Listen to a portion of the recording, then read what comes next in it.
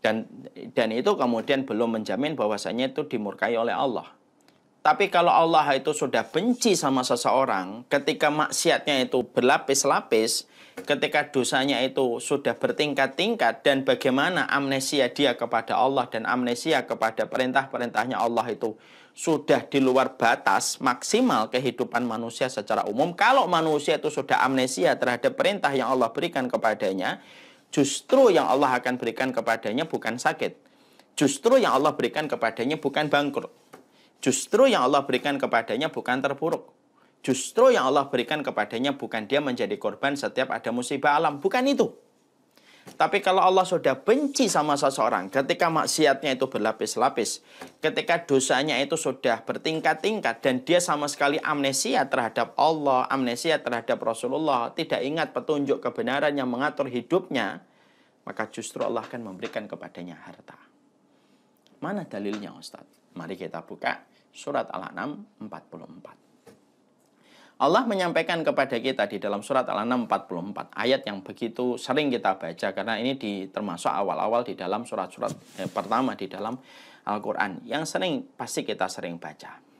Allah menyampaikan pada ayat ini falamma nasu bihi. Perhatikan pada penggalan penggalan ayat ini. Falamma nasu bihi. Saya potong dulu di sini dulu supaya kita nanti tahu hentakan ayatnya itu klimaksnya ada di mana. Anti klimaksnya itu di mana? Ya, klimaksnya di mana? Anti klimaksnya di mana? Maka kemudian Allah menyampaikan falam manasu Allah berikan prolog dulu, intronya. Pada ayat ini ada masuknya. Kalau kami dapati nasu, nasu itu lupa. Mereka itu lupa, mereka bermaksiat, berbuat dosa, tidak peduli halal dan haram. Laki perempuan campur aduk jadi satu. Menyelenggarakan kehidupan dengan aturan dia. Tidak mau memakai apa yang Allah perintahkan. Tidak memperhatikan apa yang Allah inginkan.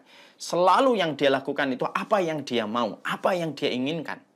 Dan tidak peduli terhadap kebenaran yang Allah turunkan. Ini ini intronya. Falamanasu madzukiru bihi. Kalau kami dapati manusia itu sudah lupa terhadap peringatan kami. Peringatan dia kalau punya keluarga, peringatan dia bagaimana dia menjaga sama istrinya, peringatan dia sama anaknya. Semuanya itu dia lupakan. Lalu dia betul-betul melupakan apa yang Allah perintahkan. Dia melupakan perintah apa yang Allah perintahkan. Perhatikan.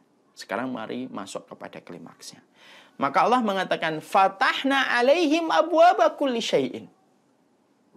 Fatahna alaihim abwaba kulli syai'in hatta idza farihu bima. Sampai di sini klimaksnya.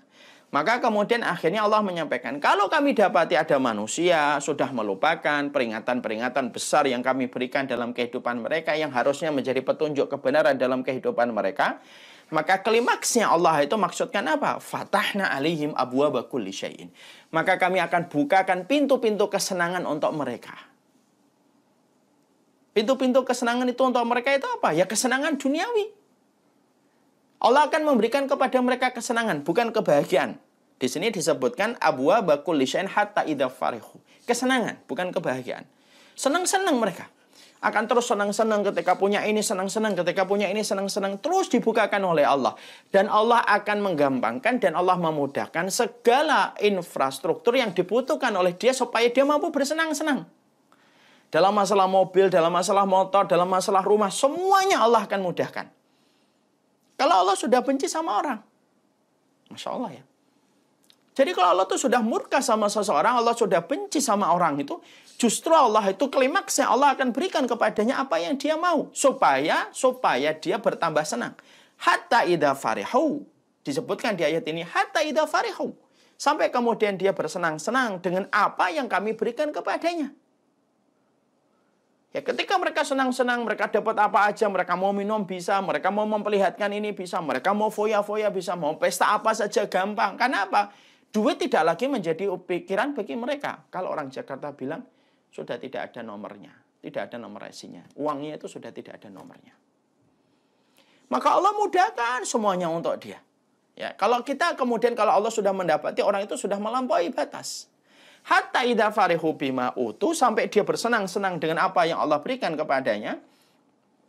Anti klimaksnya Allah kemudian sampaikan.